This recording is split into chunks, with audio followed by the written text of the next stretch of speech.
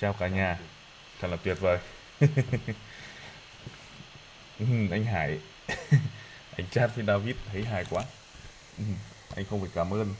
Vấn đề đây là gì ạ? Chúng ta cần phải chúng coi.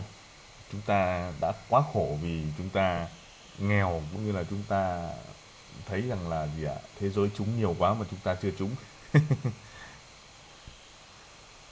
anh cảm ơn buổi sáng. David cảm thấy hào hứng và David sẽ lại làm tiếp một số video và cũng mong như là anh à, đóng tiền học phí. Sau sau đó là anh sẽ trúng một con nữa và con này nó cũng bay như là Litecoin tại sao lại như vậy? À, anh phải đóng học phí vì anh à, đóng học phí anh sẽ mất nhiều tiền. Anh mất nhiều tiền thì anh sẽ cảm thấy tiếc mà tiếc thì anh phải học đến nơi đến chốn thế thôi, đơn giản như vậy thôi.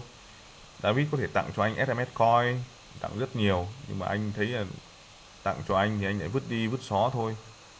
Ok, quay trở lại với lại mọi người. Chúng ta lại phân tích về Litecoin. Điều đầu tiên là chúc mừng tất cả mọi người đã tin tưởng vào David và tin tưởng vào Litecoin và tin tưởng vào những cái video đợt trước. Tôi đã nói rất là nhiều. Khi vốn hóa thị trường lên 500 tỷ hoặc 600 tỷ thì những cái khóa học của tôi ngày trước, đúng không ạ? Ether, Ripple hay là à, rất nhiều. À, chúng ta hãy kiên nhẫn. Nhưng rất, là tuyệt khi mà đêm nay à, đêm qua chúng ta thấy XRP bay lên. À, 0.4 là tuyệt vời rồi. Litecoin cũng đã bay à, Ether rất nhiều. Vậy thì Litecoin có mua được hay không? Xin thưa rằng Litecoin nó sẽ kỳ vọng nó sẽ về 400 đến 600 trong thời gian tới. Tuy nhiên chúng ta hãy xem xét được cái vùng giá thấp để chúng ta mua tránh trường hợp chúng ta đu đỉnh.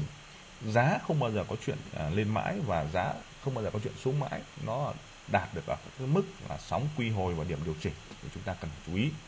Đây là mức đỉnh của Litecoin trong thời gian vừa qua, đó là 326 và giá luôn là sóng sóng điều chỉnh ở những cái vùng lên rồi xuống, lên rồi điều chỉnh, lên điều chỉnh. Nó gọi là vùng giữa của Bollinger Band khi mà giá ở vùng vùng điều, giữa ở Bollinger những người mua ở giá này, ok, không vấn đề gì 296 nhưng là chúng ta hãy biết kể cả mua ở 326 chúng ta phải có cái điểm điều chỉnh. Tức là gì ạ? Chúng ta mua được ở giá 326 không sao. Chúng ta lại mua tiếp ở giá 280 và chúng ta lại mua tiếp ở bình quân giá ở trong vùng đường giữa của Ichimoku. Vậy Ichimoku giúp cho đà giảm điểm của giá, tức là 250 là vùng tốt nhất của giá. SRI vẫn tạo ra một cái điểm, cái đường để chúng ta có một sức mạnh của thị trường là vùng 67 là có thể lên được tiếp.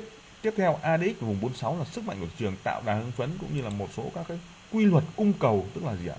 Nguồn cung thì có hạn, nhưng mà gì ạ? Nguồn cầu thì tăng lên. Vậy sức mạnh của xu hướng là 46 mới cộng với đến lên, tức là đà vẫn tăng tiếp. Ngày hôm nay nếu trong trường hợp Litecoin tiếp tục tăng và phá vỡ được cái đỉnh đầu tiên của nó, chinh phục đó là 326 thì giá sẽ lên tiếp. Rất là mạnh vào vùng 420 đấy là yếu tố của Litecoin trong trung hạn à, điểm điều chỉnh à, trong trường hợp mà điểm điều chỉnh thời gian tới là gì à, chúng ta kỳ vọng là Litecoin đã từng vượt lên hạ hơn 300 thì nó sẽ có thể về được 225 thì đấy là những cái yếu tố mà chúng ta có thể theo dõi Litecoin RD88 cho sự điều chỉnh chúng ta hưng phấn với Litecoin và chúng ta đưa ra những các cái yếu tố để chúng ta có thể xử lý. À, đó là cái mà chúng ta có những cái bản tin đối với Litecoin ở video tiếp theo tôi sẽ phân tích một số các cặp nữa à, đối với BTG à, với à, một số các cái cặp mới. Thì hy vọng là mọi người chat Zalo với tôi để có được cái thông tin. Vậy Litecoin cũng rất là ok Ether rất là ok Bitcoin có những cái điểm điều chỉnh. À, xin đăng ký kênh của chúng tôi tradecoin.edu.vn à, tradecoin.shop để chúng ta theo dõi kênh. Xin được cảm ơn mọi người và chúc mọi người có một ngày làm việc vui vẻ và hiệu quả.